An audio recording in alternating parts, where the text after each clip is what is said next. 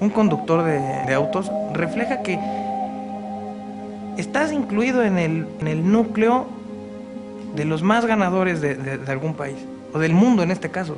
Estamos hablando de que es el primer mexicano después de 30 años en estar en la Fórmula 1 y además hacerlo exitosamente. La Fórmula 1 es un circo muy pequeñito donde solo hay 22, 24 pilotos corriendo. Y ha despertado un enorme interés y reactivado ese interés por esa Fórmula 1 que ya en alguna ocasión la tuvimos en México.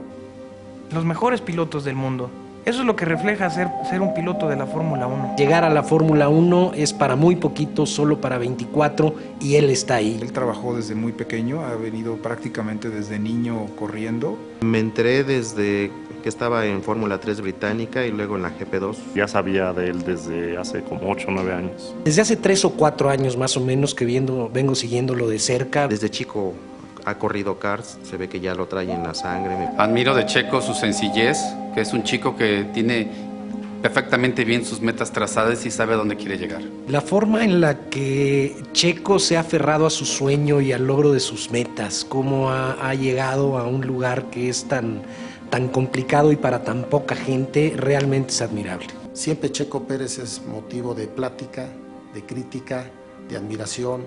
Eh, la disciplina que tiene, los logros que ha ido consiguiendo, pues desde chavito, desde los karts, pasando por la serie BMW en Alemania, la GP2. Lo hace único que después de 30 años de no tener un piloto mexicano, ha llegado a esta posición. Por ese, esa forma tan tenaz que tiene de, de enfrentarse a los retos, un joven agradable, un chico agradable. Eh, toda esa energía que él transmite a la hora de tomar el volante y... Creo que implica un gran esfuerzo, un gran sacrificio. Debe ser muy difícil estar en ese gran circo de la Fórmula 1 por su gran exigencia, por su enorme trascendencia y por personajes de todo tipo, que no debe ser fácil para Checo estar ahí. Es el hecho también de haberse ido a otro otro continente, el vivir solo, el dejar a tu familia, el dejar amigos aquí. Implica mucho sacrificio, implica mucho esfuerzo, implica mucha capacidad, mucha tenacidad, mucho enfoque y sobre todo una gran pasión. La mejor carrera fue, yo creo que sin duda la de Japón. Fue una carrera padrísima. Sin duda le metió acelerador, creo que tuvo hasta la segunda vuelta más rápida. Terminar en octavo lugar después de rebasar a todos en 53 vueltas, creo que fue algo buenísimo. El hecho de terminar ya una carrera de Fórmula 1 representa muchísimo, ¿no? Pero el, haber terminado en octavo lugar, este, creo que ha sido lo, lo más sobresaliente hasta el momento. Ya había tenido un séptimo lugar. Después de las paradas de pits, regresó a los puestos finales. Ha sido su mejor carrera ahorita en Fórmula 1. El estarlo viendo eh, cada 15 días, cada 3 semanas en las carreras, pues es como compartir un pedacito de su sueño. Checo Pérez es un orgullo mexicano porque es un ejemplo de fuerza de voluntad, es un ejemplo de constancia, es un ejemplo a la juventud. Checo inspira a que uno siempre puede lograr los objetivos que se definen en la vida el verlo eh, con ese tesón, con esas ganas, este, estar haciendo esa carrera, me inspira a hacer lo mismo en mi día con día, en mi desempeño profesional. Me inspira ganas de seguir luchando por mis sueños. Y que tenga la confianza que además de que todo México lo estamos viendo, es un gran orgullo para México tenerlo a él representándonos en la Fórmula 1. Yo creo que él va a seguir ahí varias temporadas y va a tener mucho mejores logros de los que ha tenido hasta ahorita. Que sienta que muchos, muchos mexicanos eh, que hoy día estamos interesados en hacer seguimiento de su carrera y que cada vez que alguien habla del deporte y en especial de las carreras, el nombre de Checo Pérez se menciona.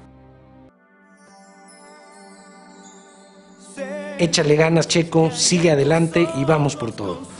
Checo, no aflojes, estás muy joven, tienes que seguir haciendo muchos sacrificios. Felicidades por su cumpleaños, que sé que es el día 25 de enero. Checo, eh, sigue adelante, eh, no te desanimes. Y gracias por eh, demostrarnos a todos los mexicanos que, que sí se puede. Y le mando un saludo a Checo Pérez para que tenga fuerte en las carreras.